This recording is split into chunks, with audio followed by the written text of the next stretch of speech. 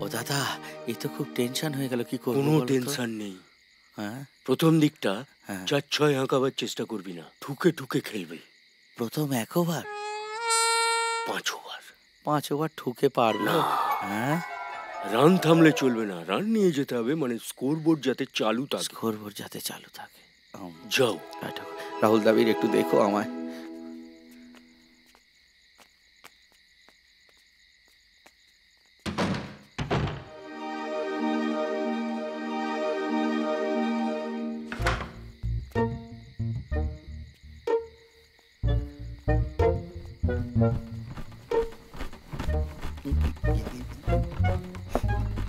দাদা দাদা দাদা দাদা দাদা দাদা আমি আমি আমি দাদা দাদা। একটু দরকার ছিল মুখটা বার করবে দাদা।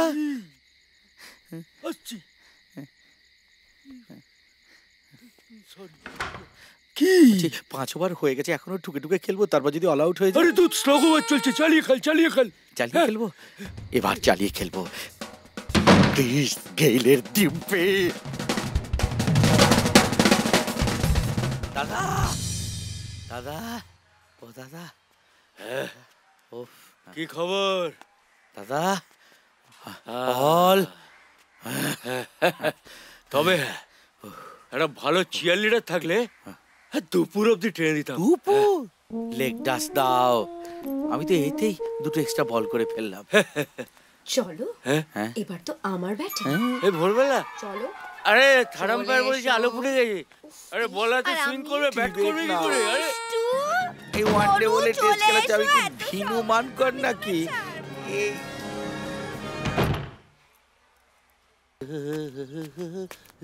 এই না তোমাদের দুজনের পছন্দের গুলে মাছ হ্যাঁ। আর রাইস। গ্রাম থেকে শহর এলে ভাতটা কিরম রাইস হয়ে যায়। তোমার জন্য কি আনব? আমার জন্য একটু হজমি গুলি আর কদবেলের আচার। এই রোজ রোজ বড্ড টক খাওয়ার নেশা হয়েছে তোমার। এই মেয়েরা কোন সময় যেন টক খেতে পছন্দ করে মনে পড়ছে না। দুষ্টু। কিছু জানো তুমি জানো। হ্যাঁ মনে পড়েছে। পেটে আলসার হলে ডাক্তার দেখানো দরকার। বলছিলাম এই অবস্থায় ক্রিকেটটা এই রাতে খেলা হবে তো। ট্রফি পাওয়ার সময় হয়ে গেল তুমি এখনও ম্যাচের কথা বলছো? এ কি রে? পৃথিবী বদলে গেছে যা দেখি নতুন লাগে। তুমি দুজনে জানিলাম আ, এই তো। তোমার প্রিয় গন্ধ সব থেকে পছন্দের। ভালো গন্ধ। আমার প্রিয় গন্ধ নয়। আমার প্রিয় গন্ধ হলো তোমার গায়ের গন্ধ। এটা আমার সবচেয়ে প্রিয় গন্ধ। আজকে কাজ থেকে ফিরে এক জায়গায় যাব কিন্তু। কোথায়? কাপড় কাচার মেশিন কিনবো। হ্যাঁ। প্রত্যেক মাসে কিস্তিতে কিস্তিতে টাকা দিয়ে দেবো। তোমার এই রকম চাঁপা কলির মতো আঙুল এ তো সাবান ছোটতে নষ্ট হয়ে যাচ্ছে। শোনো বেশি খরচা করো না বুঝলে? কেন? সামনে তো অনেক খরচ। যে আসছে তার কথাও তো একটু ভাবতে হবে। কে আসছে? ও আবার তোমার মা আসছেন।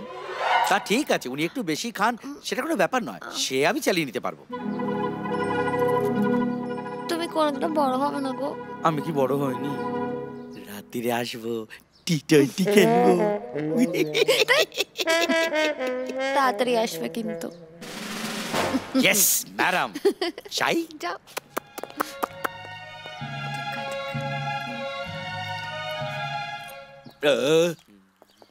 জীবনটা যেন শান্তিনিকেতন। শান্তিনিকেতন? নামটা চেনা চেনা লাগছে। শান্তিনিকেতন শুনিসনি? ছেলেমেয়েরা যেখানে রং মাখতে যায়। আরে বাবা রবি ঠাকুরের শান্তিনিকেতন? এবার নিশ্চয়ই বলবি না তুই রবি ঠাকুরকে চিনিস না? আমাদের গ্রামে শনি ঠাকুর চলে রবি ঠাকুর তো চলে না। এই বলো না কে সিনেমা করে? আমি কাঁঠাল বড় ভালোবাসি গো। আহা কাঁঠাল আমার বড় ভালো লাগে। কাঁঠাল। আপনি কাঁঠাল খাচ্ছেন? না বুকডান দিচ্ছি। আচ্ছা খাওয়া শুনেছেন কিছু? ও কাঁঠাল খাবার সময় আমি কোনো খবর শুনতে পাই না। ও আপনার শ্রেষ্ঠ ছাত্র কার্তিক আর গণেশ দুজনে পুলিশের জগ দিয়েছে। হ্যাঁ? ওরা আপনার অন্য ছাত্রদের ধরে ধরে চালে পড়ছে লোকে বলছে ওরা নাকি নিশিরাজের টাকা পেয়েছে।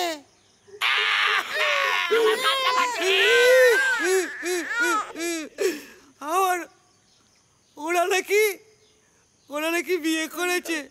আর চুরি ডাকাতি না করে নাকি সুখে আছে।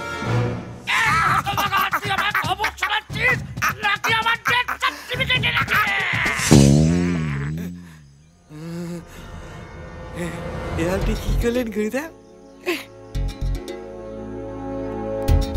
গুরুদা কি ভাবছেন? দুষ্টু বুদ্ধি জাগ্রত করছি। কাল সকালে দু লাখ লিফলেট ছাপ। আমাদের কলেজের প্রচার কর। প্রচারে কার্তিক আর গণেশের ছবি দিবি। এ বলবি ওরা আমাদের লাস্ট ইয়ারের বেস্ট ছাত্র। কারণটা ভারী মিষ্টি ছিল।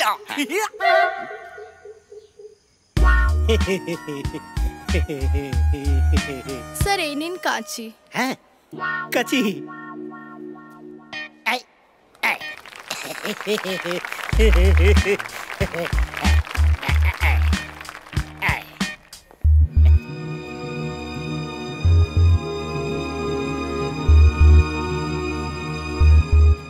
ঠিক আছে এবার আপনারা ঘরটা ফাঁকা করে দিন। থ্যাংক ইউ চলুন চলুন চলুন চলুন এগিয়ে ফাঁকা যান, করুন ফাঁকা করুন ওনাকে একা ছেড়ে ফাঁকা দিন, করুন ফাঁকা আসুন চলুন আপনারা দুজন যাবেন না? বিশ্বাস করুন স্যার আমরা কিন্তু ইচ্ছে করে আরে স্যার বাবা। স্যার স্যার করছ কেন তখন থেকে বাড়ি? আরে কার্তিক দা গণেশ দা আমায় চিনতে পারছ না আমি সাফাই লাল আরে বাবা তোমরা হলে কি আমার আদর্শ হ্যাঁ? হ্যাঁ? ক্লাসের ফার্স্ট বয় সেকেন্ড বয় না আসলে আপ মানে তুই তো এখন মন্ত্রী। আয় আয় কাকা বলেছিলাম না এটা ছিল আমার টার্গেট হ্যাঁ সে ঠিক আছে কিন্তু চুরি ছিনতাই কেপ মারি এতে তো তোর হাত ছিল মানে প্রতিভা ছিল। না না মন্ত্রী হতে গেলে প্রতিভা লাগে প্রতিভা ছাড়া মন্ত্রী হওয়া যায় হ্যাঁ। হ্যাঁ। কিন্তু মরতে তোমরা হঠাৎ পুলিশ হতে গেলে কেন? না না আমরা কিছু হয়নি ওরা জোর করে করে দিল। হ্যাঁ। এই হচ্ছে এক মুশকিল। যা করবে ওরাই করবে মানে ওরাই করে আমরা কিছু করি না। না কিন্তু তুই হঠাৎ মানে এত কষ্ট করে চোর থেকে মন্ত্রী হতে গেলি কেন? সোজা রাজা হয়ে গেলে পারতিস। এই তো বুঝতে পারলে না কাকা। রাজার তো এক ঘর চাল। আর মন্ত্রী? যেখানে খুশি যেভাবে খুশি হ্যাঁ? ট্রাভেল করে বেড়াবে। মাঝখান থেকে কিস্তি খাবে রাজা। রাজা কিস্তি খায়। হ্যাঁ। জাগে। তোমাদের নিয়ে আমার এখন অনেক বড় পরিকল্পনা। এ হবে এক পুনর্মিলন উৎসব। দেখুন স্যার দেখুন। এই যে নিজের চোখে দেখুন বিজ্ঞাপন। বিজ্ঞাপন। কার্তিক একশো শতাংশ। গণেশ নব্বই শতাংশ। এটা হচ্ছে চোরেদের কলেজ সাবজেক্ট দেখুন স্যার জালনোট অনার্স ডাকাতি অনার্স পকেটমারি অনার্স এরা আসলে চোর ছদ্মবেশে পুলিশে ঢুকেছে। চোরদের কলেজের ফার্স্ট বয় এরা। কিন্তু কিন্তু ওরা তো চাকরিটা করতেই চায়নি। আমি জোর করে ওদের ফোর্সে কেন বাসটা নিলেন? কিন্তু এটাও ঠিক যে এটা ওদেরই ছবি। এই কি হে? তোমরা যে ওই কলেজের ছাত্র আগে বলনি তো? এটা আমাদের বাবা মা শিক্ষা স্যার নিজের ক্ষমতা বেশি জাহির করবি না। এই- যে কার্তিক দা সিক্স পাস কখনো মুখ ফুটে বলেছে? আমার বাবা বলতেন স্যার নেতাদের দেখে শেখ ওরা কখনো নিজের মুখে বলে ওরা চোর ওরা ডাকাত। তোরাও নিজের ঢাক নিজে পেটাবি না। চুরি ডাকাতি করলেও সিভিল ড্রেসে থাকবি। আহ কি পারিবারিক শিক্ষা। অথচ এটাও ঠিক যে এরা ফোর্সে আসার পরে এলাকায় ক্রাইম রেট অনেক কমেছে। কিন্তু তাই বলে দুটো চোরকে আপনি পুলিশ ফোর্সে রাখতে পারেন না স্যার? তাহলে তো লোকে বলবে পুলিশ ফোর্স একটা চোরদের জায়গা। অনেকে তো জানে না যে ঘুষ নিতে গিয়ে তুমি দুবার সাসপেন্ড হয়েছো।